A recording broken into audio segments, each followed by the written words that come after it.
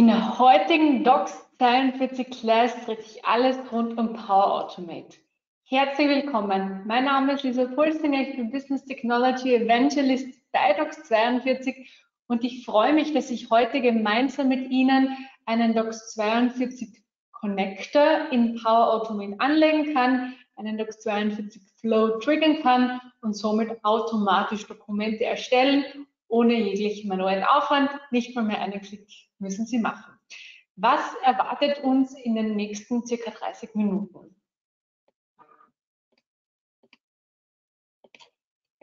In den nächsten 30 Minuten erklären wir Ihnen, wie Sie Power Automate mit Docs 42 online nützen, wie Sie einen Custom Connector für Power Automate erstellen. Das machen wir gemeinsam ähm, und einen Docs 42 Flow mit Trigger aus SharePoint, Teams oder die 365 CE einrichten. In unserem Beispiel heute bleiben wir im SharePoint. Das ist aber natürlich, wie auch hier in der Agenda ähm, erwähnt, der Trigger ist aus Teams oder auch aus D365 CE oder aus anderen D365 Anwendungen möglich. Gut, legen wir also los. Ich schalte jetzt meine Kamera wieder ab. Bei Fragen bitte gerne in das Chat-Panel reingeben und dann wünsche ich viel Spaß.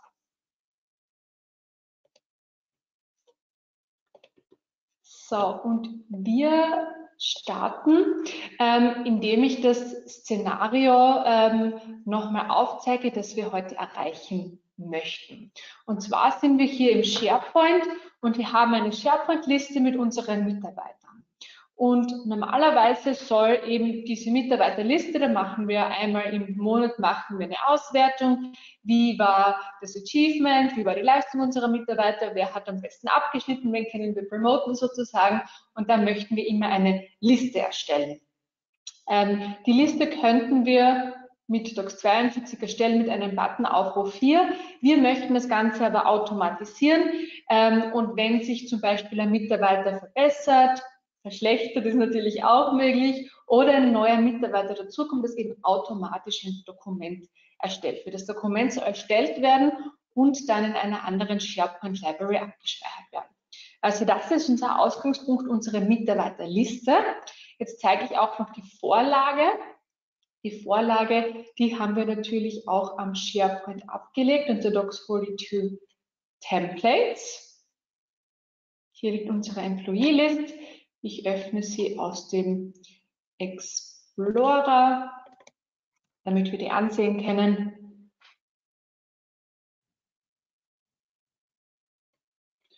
Unser fertiges Dokument, ich generiere das nochmal lokal. Unser fertiges Dokument soll dann so ausschauen und eben mit Power Automate generiert werden. Die Mitarbeiter, wie sie abgeschnitten haben. Gut, was benötigt es dafür?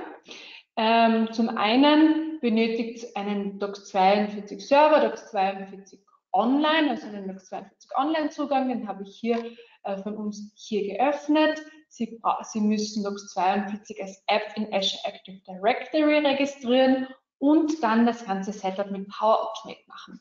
Und da starten wir auch gleich jetzt direkt los in Microsoft Power Automate. Gut, wir gehen hier in Power Automate und bei Data Custom Connectors erstellen wir jetzt einen Custom Connector. Hier ist ja auch dazu gesagt, Docs 42 entwickelt sich natürlich ständig weiter. Momentan ist eben unsere Möglichkeit, mit Power Automate zu arbeiten über einen Custom Connector. Aber bleiben Sie gespannt, da wird sich auch in Zukunft einiges tun und da wird es vielleicht auch noch einige andere zusätzliche Möglichkeiten geben, wie Sie mit Docs 42 und Power Automate arbeiten können. Aber gut, zurück zu unserem Custom Connector. Ich erstelle einen neuen vom Blank von Anfang an und ich gebe dem Ganzen jetzt einen Namen und ich nenne ihn jetzt einfach mal Webinar Employee Flow. Erster Schritt ist getan. Jetzt kann ich dem Ganzen ein Icon geben, damit das schön ausschaut. Am Desktop den Docs 42 Pfeil hoch. Description könnte ich hier noch einfinden, lasse ich jetzt raus. Und jetzt braucht es den Host. Und der ist der Host, ist der Docs 42 Online Server. Der Link dazu Und hier bin ich ja an meinem Docs 42 Online Server, den kopiere ich mir raus und den füge ich jetzt hier ein, ohne das HTTPS, sondern wirklich nur Docs 42, halt Ihre Domäne Docs 42 Online. Gut, dann als nächstes, das ist der erste Schritt, als nächstes geht schon um die Authentifizierung unseres Custom Connectors. Hier wähle ich die OAuth 2.0 aus und dann als nächstes, Docs 42 arbeitet ja mit Azure Active Directory, mit der vollen Impersonierung und wir nehmen alle Security-Rechte des Azure Active Directory mit. Deshalb brauchen wir hier beim Identity Provider, wählen wir Azure Active Directory aus. Und jetzt als nächsten Schritt möchte eben der Power Automate, möchte eben die Client ID und die Client Secret unseres Docs 42 Online, also unserer Azure Active Directory äh, Konfiguration abfragen. Und das haben wir schon im Vorfeld vorgenommen. Wir haben ja unseren Docs 42 Online Server, den haben wir als App im Azure Active Directory registriert. Hier haben wir Docs 42 Online als App und da benötige ich hier jetzt zuallererst unsere Application ID, die Client ID. Die kopiere ich mir hier raus und auch ein Client Secret wird benötigt. Also im Azure Active Directory kann man ja Client Secrets anlegen. Das sind Zertifikate. Und hier haben wir die Client Secrets. Hier ist wichtig, unbedingt dieses Client Secret rauskopieren, wenn Sie das verwenden, weil das kann man von hier aus nicht mehr abrufen. Ich habe das schon erledigt und füge das jetzt dann auch gleich bei mir an.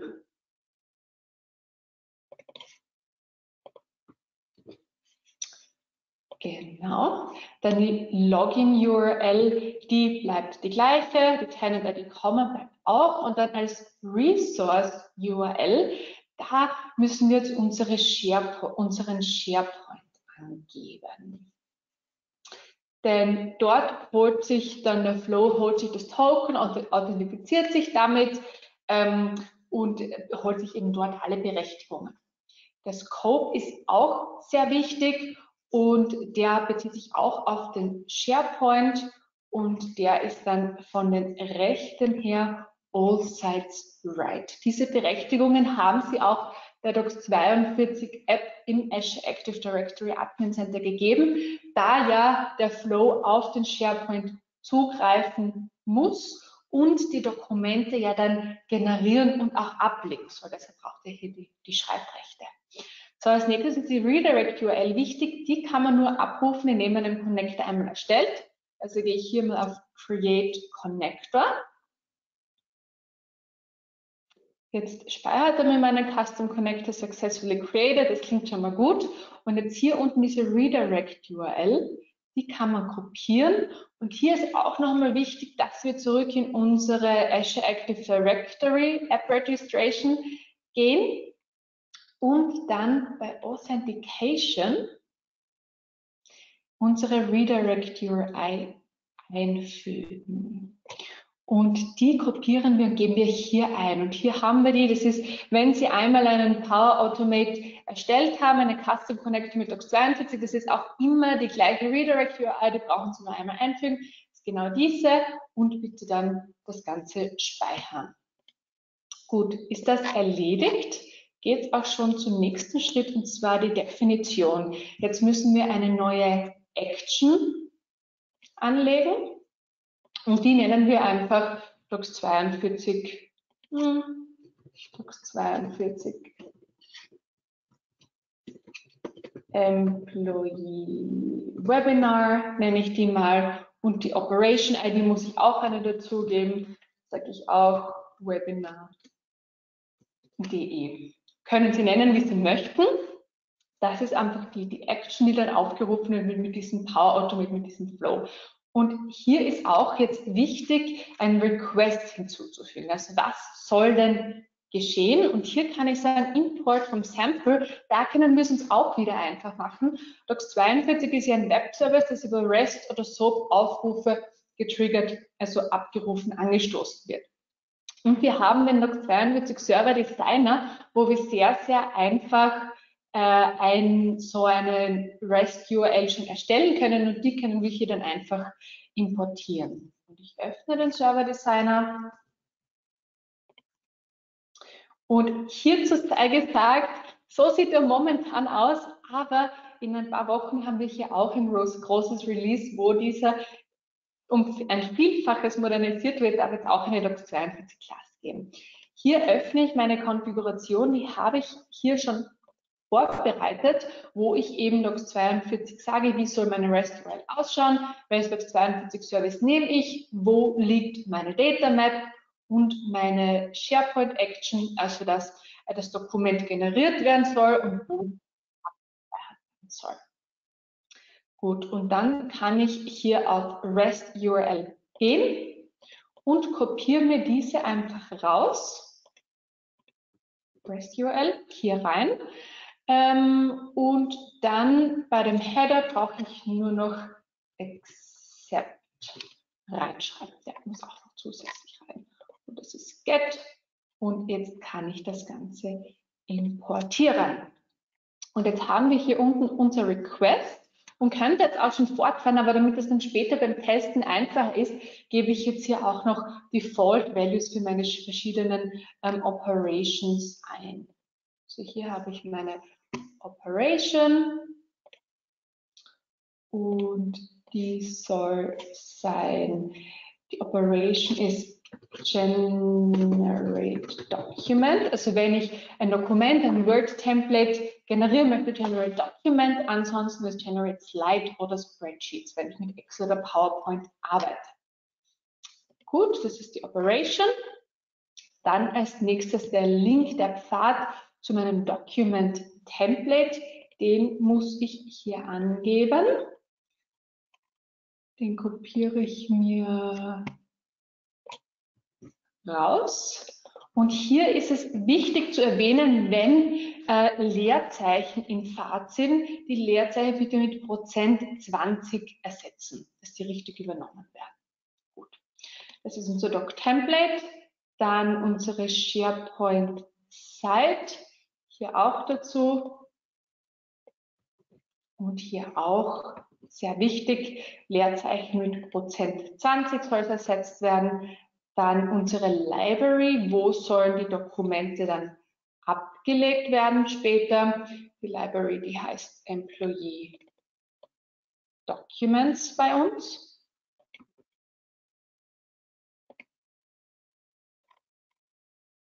Dann der Filename, wie soll das Dokument denn heißen? In unserem Fall haben wir hier einfach einen statischen Namen. Natürlich könnten Sie ja auch noch mit dynamischen Variablen arbeiten, wie das Dokument, wie der File zum Schluss heißen soll. Wir sagen, es soll ein PDF werden wir nennen ihn einfach Employee List Flow. Und dann braucht es noch Azure ID. Das setzen wir auf True. Wir authentifizieren uns ja mit Azure ID. Und zu guter Letzt noch den Header Accept und der nennt sich Application JSON. So, jetzt haben wir unsere Werte aufgesetzt. Jetzt können wir schon zum Testen übergehen. Dafür brauchen wir eine Connection. Aber zuerst speichere ich den Connector einfach mal, damit das Testen auch funktioniert. Successfully updated, das schaut schon mal gut aus. Ich gebe jetzt hier eine neue Connection ein zum Testen. Also jetzt kommt schon die Authentifizierung mit meinem Microsoft-Account. Der habe ich, den habe ich hier. Connection ist hier und hier kann ich jetzt schon meine Default Value sehen. Also ich will ein Dokument generieren. Hier liegt das Template in meiner SharePoint Library auf dieser Seite. In dieser Library soll es gespeichert werden mit diesem Namen Application JSON. Und jetzt testen wir die Operation ob das Ganze so funktioniert, wie wir möchten. Hier steht Validation Succeeded. Das ist schon einmal ein sehr, sehr gutes Zeichen. Und dann schauen wir auch in unsere Sales Orders, in unsere Employee Documents. Und hier sehen wir vor ein paar Sekunden ist unser Employee Flow Dokument erstellt worden.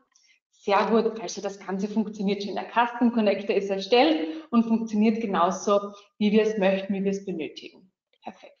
Jetzt ist aber natürlich der nächste Schritt. Wir möchten ja nicht den Custom Connector nur über diesen Test eben triggern. Wir möchten wirklich einen Flow dahinter setzen. Also erstellen wir jetzt im nächsten Schritt noch einen Flow.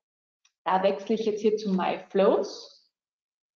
Gehe hier oben auf Neu und gehe dann auf Automated Create from, from Blank. Also ich setze mir einen neuen Flow auf. Den nenne ich jetzt einfach auch Employee Webinar Flow. Und hier kann ich von vielen, vielen unterschiedlichen Triggern wählen. Das Ganze kann aus Dynamics kommen, aus SharePoint, wo auch immer. Ich möchte hier, wenn ein SharePoint-Item created oder modified, dann den hier auswählen. Das ist mein Trigger. Dann erstelle ich jetzt mal hier meinen Flow. Sehr gut. Und jetzt gebe ich hier meine Site-Adresse an. Die wird, wird, werden hier schon welche reingeladen. In meinem Fall sind es die Sales Orders. Und meinen Listennamen brauche ich auch dazu, wo das getriggert werden soll. Das ist die Employees, heißen die bei mir. Also gebe ich hier Employees ein. Es ist jetzt nicht schon vorgeschlafen, äh, geschlagen, aber ich kann hier eine Custom Value eben eingeben. Sehr gut. Und wenn, jetzt muss ich noch sagen, okay, wenn ein Item created oder modified wird, also angepasst oder hinzugefügt wird, dann soll mein Docs 42 Trigger, und zwar mein Webinar Employee Flow, dann soll dieser stattfinden. Ah, so. Webinar New Employee Flow. Hier ist er sehr gut. Und dann speichern wir das Ganze. Und Trigger. So, jetzt hat es funktioniert. Und jetzt kann ich den speichern. Und hier sehen wir auch schon wieder, dass was uns eben sehr, sehr viel erleichtert, dass wir die Default Values eingegeben haben, haben wir hier auch schon die Default Values hinterlegt. Das Ganze ist gespeichert. Sehr gut. Jetzt gehe ich hier zurück zu meinen Flows. Hier können wir einfach OK sagen. Jetzt habe ich hier meinen Webinar Employee Webinar Flow. Und jetzt testen wir das Ganze natürlich auch noch. Und jetzt gehen wir hier in meine Employee-Liste zurück und ich öffne hier einfach mal die Elena Heinzer. Die hat die 97 Prozent. Die hat aber bei uns im letzten Monat overperformed und deshalb hat sie ein Achievement heute von 99 Prozent. Das Ganze ist gespeichert und jetzt wird im Hintergrund automatisch eben dieser Flow getriggert. Docs 42 authentifiziert sich mit dem Flow Docs 42 online, mit dem Azure Active Directory, mit der registrierten App, generiert uns das Dokument und legt es uns erneut ab in unseren Folder. Schauen wir zuerst zurück zu unserem Flow. Hier gehen wir mal auf Aktualisieren und dann gehen wir hier auf All Runs. Unsere Run History. Okay. Und hier sehen wir, der dauert zwei Sekunden und der läuft gerade noch. Okay. Dann werden wir gleich nochmal. Hier stehen wir succeeded. Drei Sekunden hat der Flow diesmal gebraucht. Jetzt gehe ich zu meiner Employee List. Employee Documents. A few seconds ago wurde das Dokument von mir erstellt. Wir arbeiten ja hier mit Azure Active Directory. Wäre es ähm, über einen Kollegen geschehen, äh, eben dieser Flow, diese Connection, dann wäre eben ein anderer Name hier dabei. Und hier sehen wir, jetzt ist es aktualisiert, das Dokument, wenn wir auf 100% gehen, hat die äh, Lena Heinz 99% erreicht. Also der Flow hat funktioniert, das Dokument wurde erstellt und jedes Mal, wenn etwas abgedatet wird, ist automatisch, hat man immer genau die Übersicht, wer war denn unser High Performer in unserem Szenario. Gut, so einfach erstellen Sie einen Docs 42 Flow. Ich kann Ihnen einfach noch weitere Beispiele zeigen, welche Flows wir noch haben. Zum Beispiel haben wir auch noch natürlich einen Flow mit Dynamics CRM. öffne den mal, dass Sie den sehen. Und hier schaut die Action so aus, wenn eine Sales Quote in Dynamics CM angepasst wird, dann wird auch Docs 42 getriggert, ein PDF-Dokument erstellt und am SharePoint abgelegt. Und es schaut hier sehr, sehr ähnlich aus, dieser Aufruf. Was wir hier noch hinterlegt haben, Sie können natürlich auch mit Variablen dieses Flows aus Power Automate arbeiten. Und hier haben wir die Quote-ID dynamisch eingesetzt in unserem Eingabeparameter, den wir hier haben. Und hier haben wir auch den Namen des Dokuments dynamisch gemacht. Und hier auch schreiben wir auch dynamische, ähm, hier schreiben wir auch dynamische äh, Metadaten mit. Und wenn ich jetzt, wenn ich hier auf meine, in meinen SharePoint wechsle, zu meinen Dynamics 365 Sites, zu meinen Sales Quotes, dann sehen wir hier, so schaut der Flow, den haben wir eben gestern getriggert, so schaut der aus Dynamics aus, hier mit einer Quote-ID automatisch hinzugeschrieben, geschrieben, das hat der Fabian Huber gemacht und hier auch ein Dokument abgelegt. Ähm, das wurde aber über einen Flow aus Dynamics getriggert. Gut, das war äh, der Content vom heutigen Webinar. Ähm, also fassen wir nochmal kurz zusammen, was haben wir gelernt? Momentan die Möglichkeit mit Docs 42 online und Power Automate zu arbeiten ist über den Custom Connector. Der ist schnell erstellt. Sie benötigen dafür einmal einen Docs 42 Online Server. Den Zugang können Sie gerne von uns beantragen. Sie müssen Docs 42 online ähm, als App in Azure Active Directory registrieren. Sie benötigen natürlich eine Docs 42 Vorlage mit dem Docs42 Server Designer können Sie den Aufruf vorkonfigurieren. Danach erstellen Sie eben einen Custom Connector mit Microsoft Power Automate ähm, und dann einen Flow mit Trigger aus SharePoint. So, ich schalte noch mal kurz meine Kamera ein. Ähm, ein paar Announcements noch. Also wir haben ja die Talks 42 Classes, die Webinar Tutorials, die finden ja wöchentlich statt. Äh, jetzt im Sommer haben wir den Zeitraum ein bisschen erweitert und am 29. Juli findet die nächste Klasse statt über SharePoint Advanced, wo Sie lernen, wie Sie mit ähm, ähm, wie Sie mit Config, nicht mit Config-File, wie Sie mit ähm, SharePoint, Site Collections arbeiten, Multi-Value Fields und so weiter und der Server Designer wird auch der neue Server Designer wird am 26. August dargestellt. So, ich habe auch noch ein Feedback bekommen. Ähm, Dankeschön äh, für das Feedback, das ist jetzt eine super Anleitung da ist. Sehr, sehr gerne. Es freut uns immer wieder, wenn wir Feedback zu unseren Classes bekommen, wenn es für Sie hilfreich ist. Also immer schön zu wissen. Genau, und wenn Sie ansonsten, wenn Sie noch weitere Informationen brauchen, unsere Website besuchen, uns schreiben, entweder an Info oder direkt an mich. Sie können Docs 42 kostenlos 30 Tage lang testen.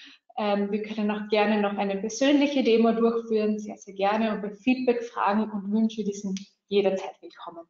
Vielen, vielen Dank heute fürs Dabeisein. Ich wünsche Ihnen noch einen schönen Tag und viel Spaß mit Docs 42 und Power Automate.